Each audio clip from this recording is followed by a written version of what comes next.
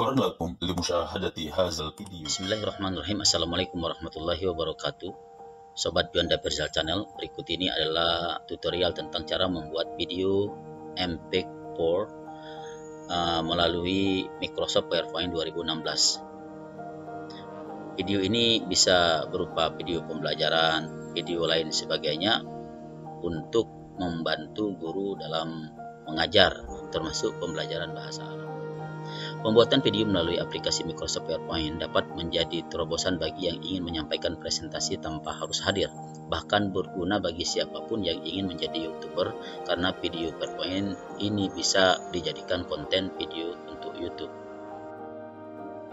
Langkah untuk membuat video PowerPoint cukup mudah, yang diperlukan hanya software Microsoft PowerPoint, materi presentasi yang akan digunakan sebagai slideshow, kemudian kesiapan mental untuk atau menjelaskan isi slideshow tersebut.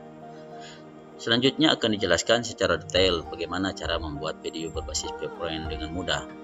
Sebagai catatan bahwa tutorial yang ditulis ini menggunakan Microsoft PowerPoint 2016 akan tetapi dapat berlaku untuk versi selainnya seperti Microsoft PowerPoint 2013 ke atas atau Microsoft PowerPoint 2010. Nah, langkahnya yang pertama adalah buka PowerPoint. Pertamanya adalah buka PowerPoint direkomendasikan untuk menggunakan Microsoft PowerPoint 2010 ke atas. Karena kemudahan dalam membuat presentasi yang menarik selain itu semakin baru versi PowerPoint maka fitur ini juga semakin mudah digunakan sehingga kemudahan menggunakan fitur akan sangat membantu bagi teman-teman termasuk guru bahasa Arab yang pemula dalam menggunakan PowerPoint untuk membuat sebuah video pelajaran kemudian buat slide presentasi. Jadi kita harus membuat slide presentasi. Kemungkinan besar hampir seluruh kita termasuk seluruh guru termasuk guru bahasa Arab ini sudah biasa menggunakan PowerPoint. Buatkan saja PowerPoint PowerPoint termasuk PowerPoint yang berkaitan dengan konten pembelajaran kemudian teman-teman tinggal disesuaikan apa kemudian bentuk format sehingga PowerPoint tersebut menjadi menarik bisa dimasukkan gambar, audio atau musik bahkan bisa menambahkan video ke dalam slide PowerPoint. Konten atau pesan yang akan disampaikan dalam presentasi ini adalah hal yang utama karena presentasi PowerPoint pada dasarnya untuk menyampaikan pesan ke audiens jika yang ditangkap audiens justru tampilannya yang menarik saja dan pesan intinya tidak dimengerti maka presentasi dianggap kurang efektif kemudian efek animasi sama transisi. Jadi ada efek animasi ada efek transisi. Efek animasi dapat dijadikan sebagai presentasi lebih menarik untuk diperhatikan audiens jika penerapannya dikelola dengan baik dan serasi. Nanti mudah-mudahan suatu waktu kita akan apa namanya tutorial bagaimana penggunaan animasi transisi yang baik.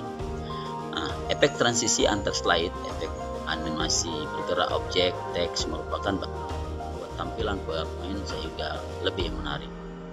Nah, selain konten, pesan yang ingin disampaikan melalui presentasi PowerPoint, tampilan juga penting untuk diperhatikan hal ini sebagai daya tarik tersendiri bagi audiens agar memperhatikan apa yang kita sampaikan. Atur durasi masing-masing slide. Setelah menyiapkan konten dan membuat tampilan yang menarik dalam PowerPoint, ada langkah penting yang tidak boleh dilupakan sebelum menjadikan PowerPoint dalam bentuk video, yaitu mengatur durasi penayang setiap slide jadi atur duras, durasinya waktunya jangan sampai kelamaan atau kecepatan dan lain sebagainya. Bagaimana mengatur durasi masing-masing slide PowerPoint ini? Secara umum ada dua hal yang bersifat presentasi pasif yang kedua presentasi aktif sebagai berikut. Yang pertama reset timing. Reset timing fungsinya untuk mengatur durasi antar slide yang bersifat pasif. Selanjutnya tinggal klik fitur ini kemudian akan otomatis tayang slideshow selanjutnya bisa memperkirakan kira-kira berapa detik atau menit masing-masing slide tayang. Perkiraan waktu ini diperlukan agar siapa pun yang melihat tidak merasa bahwa slide terlalu cepat atau terlalu lambat. Kemudian, record slideshow. Record slideshow berfungsi untuk merekam semua aktivitas yang dilakukan saat presentasi, termasuk juga durasi per slide, suara saat menjelaskan slide, posisi kursor, bahkan coretan pointer option jadi, jika ingin memastikan durasi waktu yang tepat, maka fitur recording slide slideshow ini bisa digunakan. Selain itu juga bisa menjelaskan langsung dan merekam suara sehingga nantinya video akan seperti presentasi sebenarnya. Kemudian file, klik save as, nah itu setelah semua diatur dengan baik, kira akan menarik maka dilakukan sebagai berikut klik file di pojok paling kiri atas kemudian save as. Jika semua slide sudah disiapkan baik secara konten tampilan durasi maka tahap berikutnya adalah proses menjadikannya sebagai video. Pada Microsoft PowerPoint 2016 pilih menu file kemudian pilih sub menu save as. Nah pilih folder untuk menyimpan video. Ini foldernya pilih folder yang nantinya akan menjadi tempat penyimpanan file video. Tapi sebelum menjadikan video lebih baik menyimpan dahulu dalam bentuk PPT atau PPTX hal ini untuk memudahkan untuk mengedit jika video yang dihasilkan salah atau kurang memuaskan. Nah, seperti ini. Save sebagai PowerPoint dulu.